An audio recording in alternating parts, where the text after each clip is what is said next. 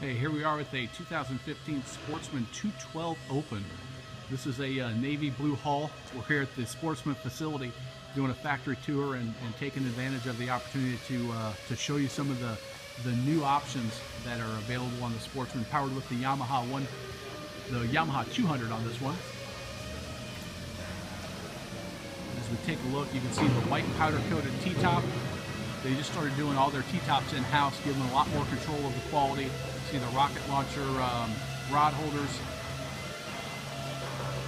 that uh, flip-up bolster on the center console seat.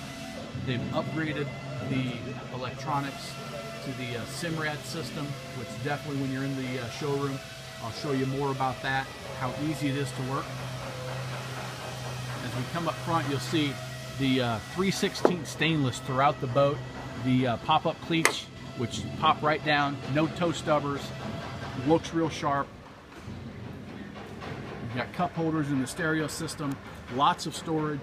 They've got a really unique, you can see some of the boats are, are in assembly mode right here, but they've got a, uh, a design for their drainage that all the compartments drain out uh, below the deck, which makes it nice and clean.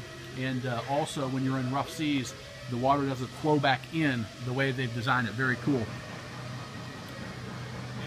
Option of the dark color T-top uh, underneath. That is a, a, navy blue matching the hull, which looks real cool. You've got your anchor locker, again, stainless steel hinges. A lot of manufacturers are using stamped aluminum here on the, uh, the cheaper boats, but Sportsman builds a boat to be strong for a lifetime. And um, they also really like this, their variable degree dead rise on their uh, hulls. You can see those lifting strakes are nice and heavy duty, but they've also, they've got a nice sharp V right there to cut through the chop and then it kind of flattens out in the back. It's called a variable degree dead rise. Gives the boat a nice, smooth, comfortable ride while still being nice and stable. Another thing that they're doing is uh, putting the LED lights in on the rub rail. Cleans up that bow area and looks real sharp on that stainless steel rub rail as well. So this is the 212 Open uh, by Sportsman.